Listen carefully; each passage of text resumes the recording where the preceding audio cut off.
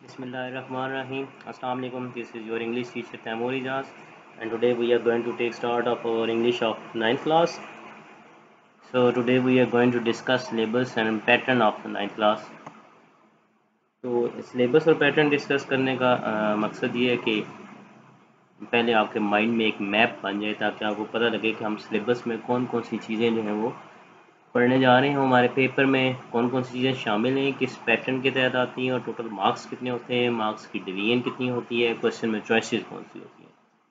ठीक है जी? तो सबसे पहले सिलेबस को डिस्कस करते हैं और सिलेबस को मैं according to the paper discuss करूँगा। ये सबसे पहला क्वेश्चन जो आपको पेपर में आता है, वो क्वेश्चन एंड आंसर्स का होता है। ठीक है? आपको आठ क्वेश्चंस दिए जाते हैं, पाँच आपने अटैम्प्ट करने होते हैं। तो ये क्वेश्चन आपको एक्सरसाइज में से भी आ सकते हैं और लेसन में जब आप रीडिंग करते हैं तो पैराग्राफ के एंड पे भी क्वेश्चन दिए होते हैं, वहाँ से भी आ सकते हैं। ठीक है जी?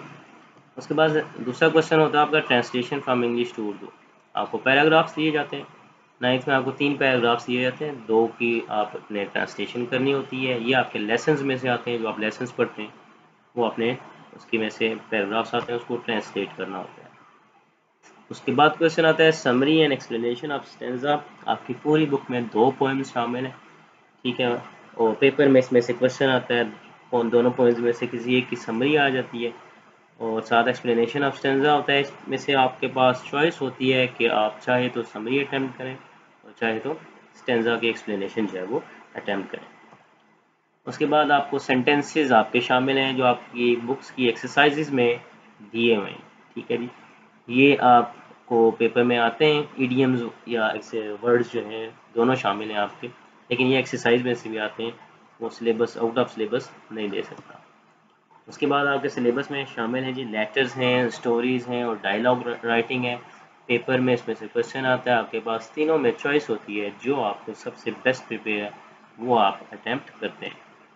इसके बाद आपके सिलेबस में शामिल है जी कम्प्रीहेंशन आपकी ग्रामर एंड कंपोजिशन की बुक है।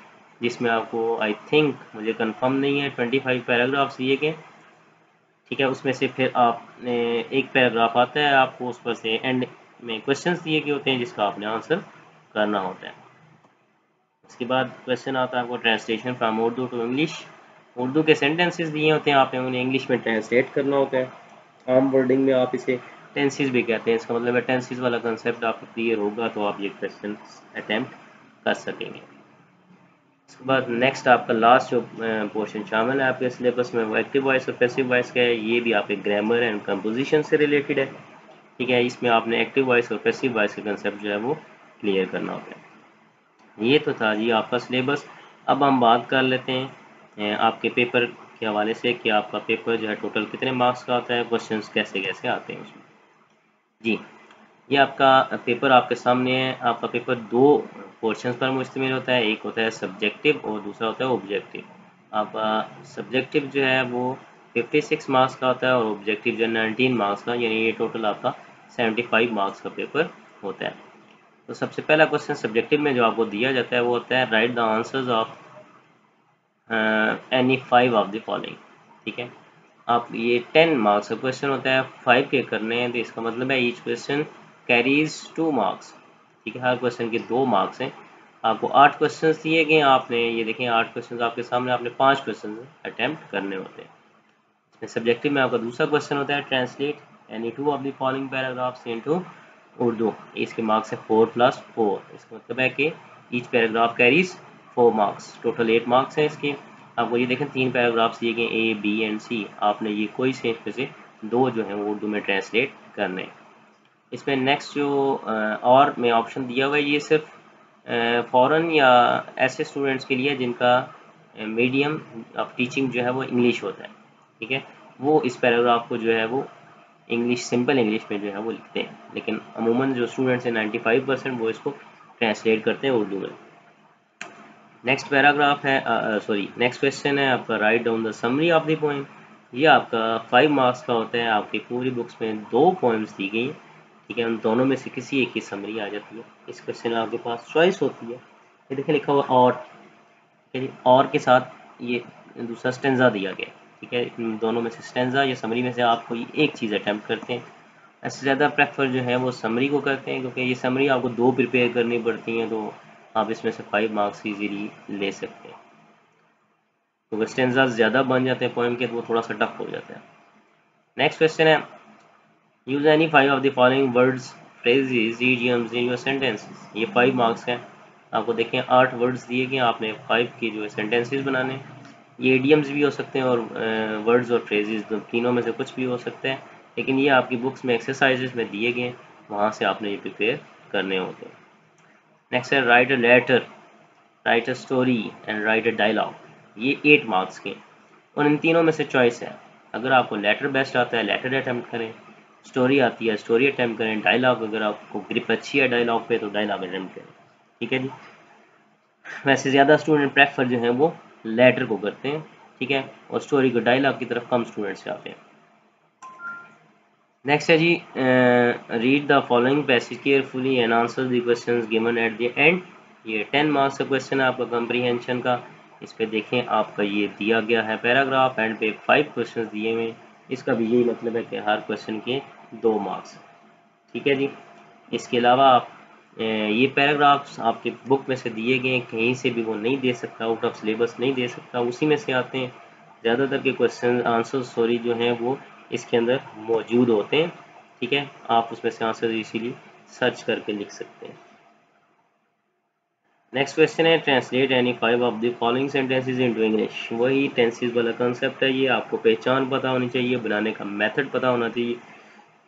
आपको टोटल आठ सेंटेंसेस दिए गए हैं, आपने पाँच जो इसमें से अटैम्प्ट करने इसमें चॉइस होती है जी, जिनका मीडियम ऑफ़ इंग्लिश जो है sorry medium of teaching English होता है, और वो फॉरेन कैंडिडेट्स होते हैं।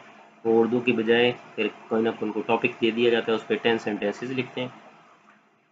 क्वेश्चन नंबर नाइन और लास्ट क्वेश्चन है change the voice of the following इस क्वेश्चन को जरा गौर से देखें, लिखा हुआ है चेंज दी वॉइस ये नहीं लिखा हुआ change the following into passive voice इसका मतलब है अगर आपको सेंटेंस एक्टिव वॉइस में दिया हुआ है, आपने उसे पैसिव में कन्वर्ट करना है और अगर पैसिव में वॉइस में दिया हुआ तो एक्टिव वॉइस में कन्वर्ट करना है। इसमें आपको फाइव सेंटेंसेस दिए जाते हैं, ठीक है? किसी किस्म की कोई चॉइस नहीं होती। है देखिए फाइव सेंटेंसेस यहाँ पे एंड है। ठीक है, आपने फाइव के फाइव अटैम्प्ट करने होते हैं। ये तो था जी आपका सब्जेक्टिव पोर्शन अब आते हैं आपके ऑब्जेक्टिव पोर्शन की तरफ़। ये देखें ऑब्जेक्टिव पोर्शन आपका टोटल मार्क्स में 19 होते हैं, उसके 56 इसके 19 टोटल 75 मार्क्स और इसके टाइम जो होता है ट्वेंटी मिनट्स दिया जाता है। पहला क्वेश्चन है choose the correct form of the अब ये देखें, सारे के सारे एमसीक्यूज पे बेस्ड है। इसका मतलब ऐसा ऑप्शंस आपके पास जो है मौजूद होते हैं। आपने करेक्ट ऑप्शन जो है, उसको सिलेक्ट करना होता है। फ़र्स्ट क्वेश्चन है choose the correct form of आपको सेंटेंसेस दिए जाते हैं, उसमें से एक फॉर्म लगती है ब्लैंक छोड़ दी जाती है।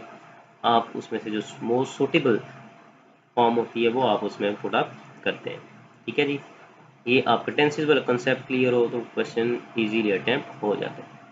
सेकंड क्वेश्चन है choose the words with correct spellings यानी आपको चार स्पेलिंग्स दिए गए हैं, उसमें से एक स्पेलिंग जो है, वो सही है।